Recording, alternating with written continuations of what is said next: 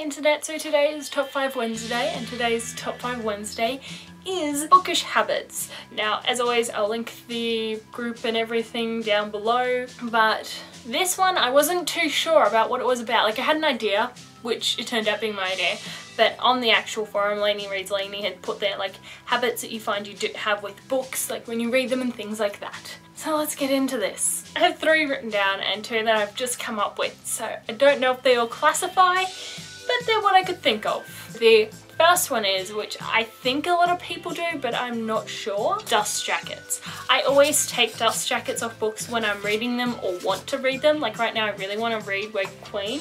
So as soon as I'm in the mood, I'm picking this up. This is about to migrate into the handbag but I always remove the dust jacket before I read a book because I don't want it getting destroyed. I just, I like having the dust jacket in clean, pristine form and kept on the bookcase usually like this so it doesn't lose its shape and I can trash the actual book. My best version of this that you can see is Snow Like Ashes because dust jacket, pristine, perfect in every way. Look at that once white bookend, just this lived in my bag. It didn't get treated very well. I, I know what kind of person I am when it comes to some things and that's why dust jackets come off. The next one would be taking it everywhere. If I'm reading a book, I will take it everywhere with me. I will clutch it. If I'm not if I'm not proactively reading it, I might leave it in my bag at work on my desk work, but otherwise it's taken everywhere with me. For example, this is my handbag. I usually have pretty big handbags this is filthy and needs a wash. But even when I don't have as big of a handbag, I'll carry it. In this one, I currently have a bite-sized history of vampires that I'm carrying around because I'm reading bits of it. Um, it's just really interesting to see like the history of how vampires came to be and it's good research. But this, I always have a writing book in my bag. This is the current one.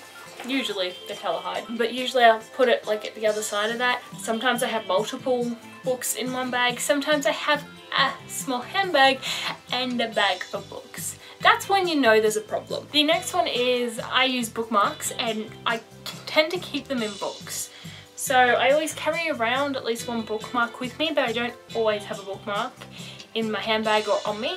I will put random things in as bookmarks, like this has poppy seed appeal. I know I have a plane ticket in one of them. It's really cool at work because occasionally they tend to do like bits of cardboard that are about bookmark size, if not a bit thicker. And I like to use those. Random pieces of paper. I literally have some that are just thin teared strips of paper. But like these are, have been in my bag for a while now. I just love the look of this one. Um, this is usually my chosen bookmark. I love these type of bookmarks. That is my favourite. As you can see, they're occasionally shown on my shelf when I'm reading books. I have this one in there. I don't know why. I can't really use this bookmark. It's cute. I got it off a family friend.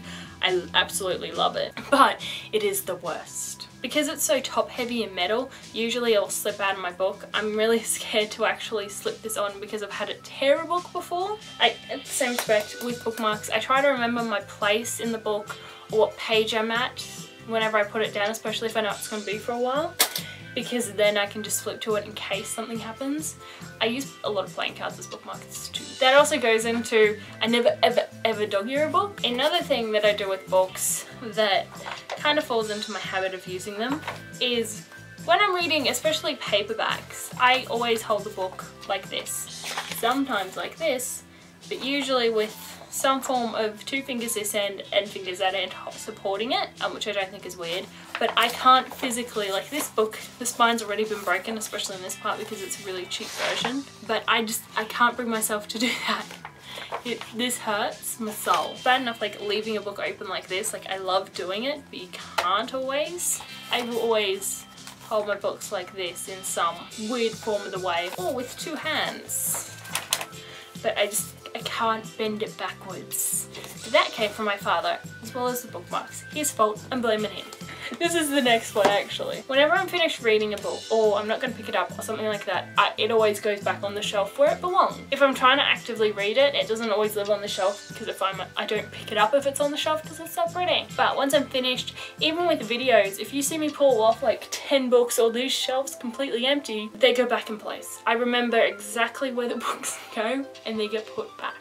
I have a pile of books down here, probably about 10, that were taken off when I was organising this, but they're all unread books. I don't know, especially if it's read, it has to go back on the shelf.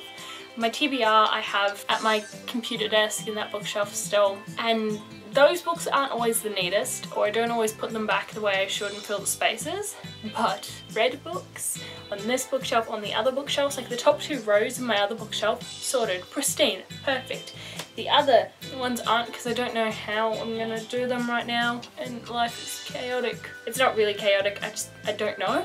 but when it comes to my bookshelves, the book part of it is usually always sorted.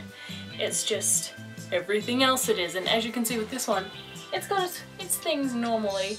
Then you have a bottle of alcohol on top of, it's at least like on top of the coaster.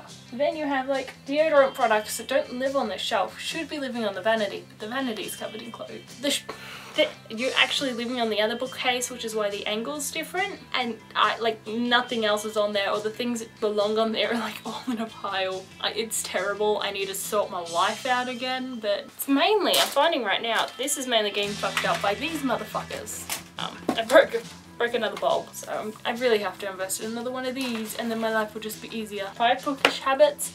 I don't know. What I feel like are book habits. But mm, should say buying massive amount of books. I haven't bought many books this month because I'm on a budget for books and life, but I will be.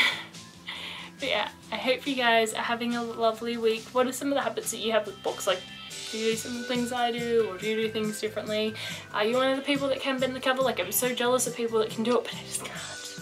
I also can't write in books. There's a lot of things I can't do with books. Have a lovely week. Bye. I want to know authors who have to sign their books. Do some of them have issues with it or not? I don't know. Yeah.